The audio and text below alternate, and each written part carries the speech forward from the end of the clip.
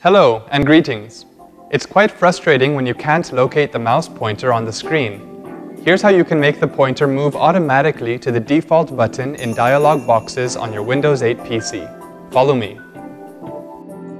Right-click on a blank area of the Start screen and then click All Apps on the menu bar that appears at the bottom. Under Windows Accessories, click on Control Panel and it will open the Control Panel window on the desktop. Set it to the Large Icons view and then click on Mouse. The Mouse Properties window opens.